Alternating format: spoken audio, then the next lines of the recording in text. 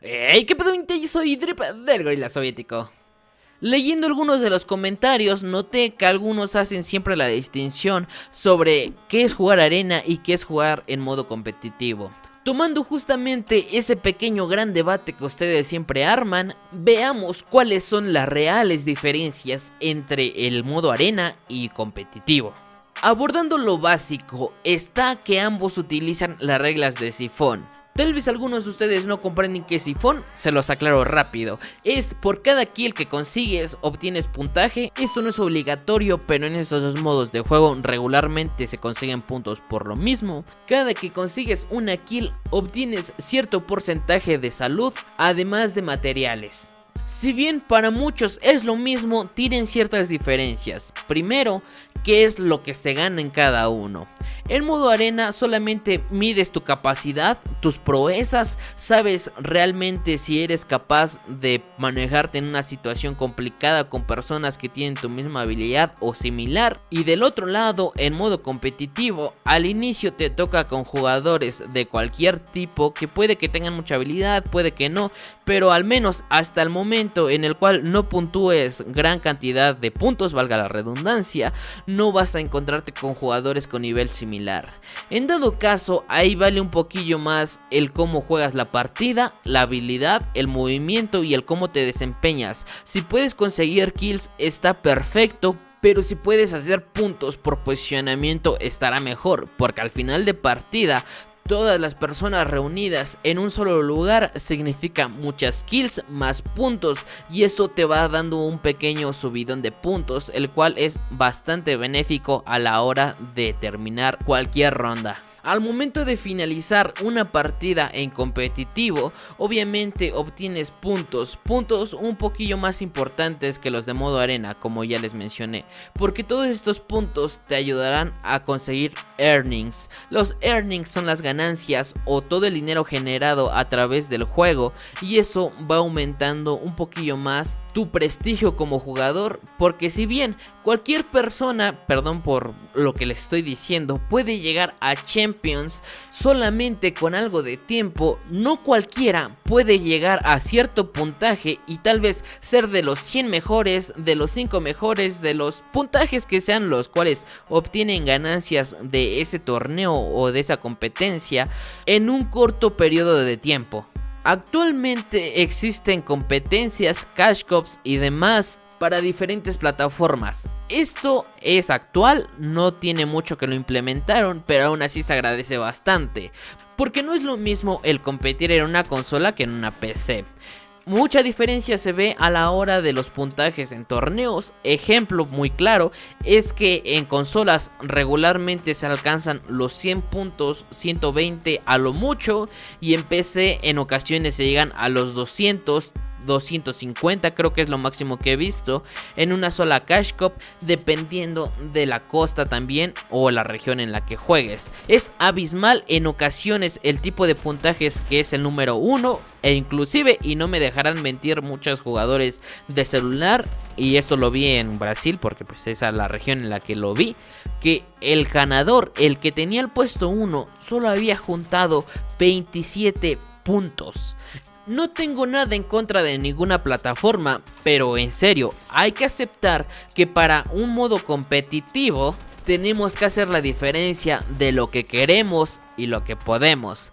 Porque realmente, aunque queramos hacer cualquier cosa que nuestra consola no aguante, si es que pues se empieza a petar todo el juego, no se va a poder nada más, chicos. No es problema suyo, sé que muchos de ustedes tienen talento ahí guardado, que en muchas ocasiones no pueden explotarlo, pero tienen que aceptar y adaptarse a lo que tienen. Pero eso no lo tomen como excusa. Claro que pueden lograr grandes cosas, pero tienen que hacerlo y adaptarlo a los limitantes de cada plataforma. Dos cosas fundamentales en los modos competitivos a diferencia del modo arena es el ping y la habilidad. Ya se ha comprobado por muchos jugadores, llámese el caso de Mongrel, Mr. Savage, de Benji Fishy o Benji Pescado, como ustedes le quieran decir, sobre el jugador que ustedes quieran, que ha jugado Cash Cops o bien que juega de repente modo arena, eh, lunes de Fortnite con otros jugadores de otra parte del mundo que pueden pelear igual o mejor que muchas personas en su propia costa. Pero al menos para competitivo es muy recomendable que tu ping sea mínimo de 40 para abajo. Inclusive 40 ya es mucho. Tal vez y apostaría por un 30 que sería lo indicado para no perder por ese tipo de reemplazamiento de muros, porque las construcciones no se te spamean o porque en muchas ocasiones intentamos hacer movimientos arriesgados o salvarnos en un momento en el cual nos intentan tirar con una construcción rápida, pero no se ponen las piezas a tiempo o bien no alcanzamos a reaccionar y el juego no procesa el movimiento como lo estamos haciendo o como lo queremos hacer. Sonará excusa, pero para las personas mortales, las cuales sufrimos por reemplazamientos de muros, las sufrimos bastante por un nivel de ping demasiado alto. Hay jugadores que tienen talento nato, además de seguimiento y práctica diaria, pero tenemos que tomar en cuenta que para muchos es bastante complicado el jugar a su nivel o jugar similar si es que tenemos ese problemilla del ping. Y ahora, saliendo un poco del tema, pero aún tiene relación con lo mismo, son los equipos competitivos.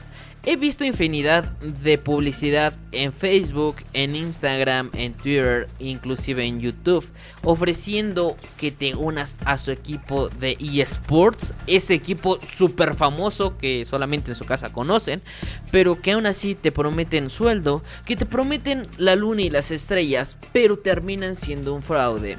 Una cosa es tener algún grupo de amigos el cual forma un clan, el cual tiene ganas de hacerse conocido, de competir tal vez por su cuenta, el cual no requiere que tengas que utilizar dinero, de invertir dinero en el mismo, que no requiera contratos o que no requiera algún tipo de servicio especial, además de cambiarte el nombre a algo similar con su clan. Otra cosa son los equipos realmente conformados para competir. Hay muchos equipos que nada más por sus ganas, por sus huevos, se quieren llamar competitivos, pero realmente ¿en qué compiten?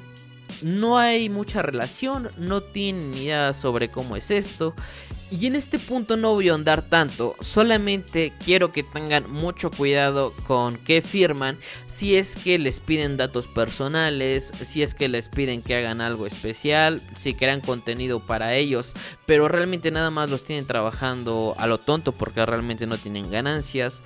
Tengan mucho cuidado con eso chicos, porque he visto a mucha gente perder dinero, perder tiempo con este tipo de personas que solamente las estafan y demás cosas que no vale la pena mencionar, solo tengan cuidado.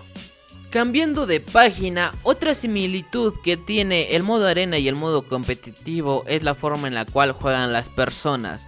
Hay pequeñas grandes distinciones entre cada una, pero al menos la más importante y que tienes que tomar siempre en cuenta es que no es lo mismo el estar peleando o enfrentándote en un modo competitivo que en modo arena. Como sea, en arena no pierdes nada son tus puntos que puedes recuperar fácilmente en otra partida. Solamente le das a listo, esperas unos minutos para que te empareje y ya está.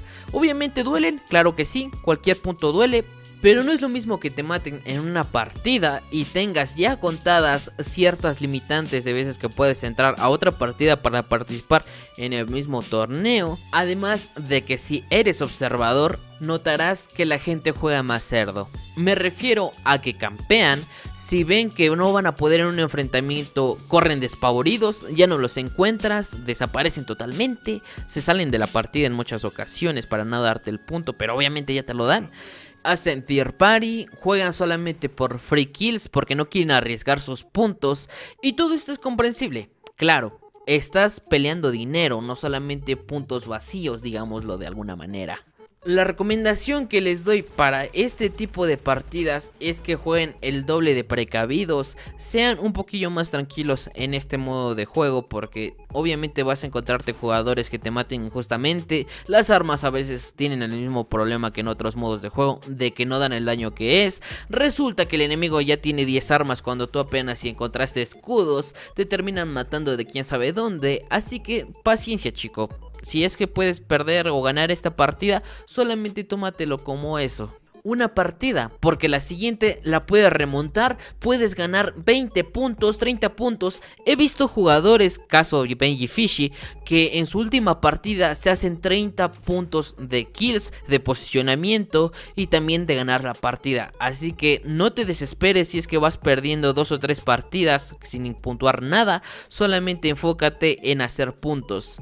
Y como último punto de este video es nunca te malviajes, nunca te hagas ideas o ilusiones antes de tiempo.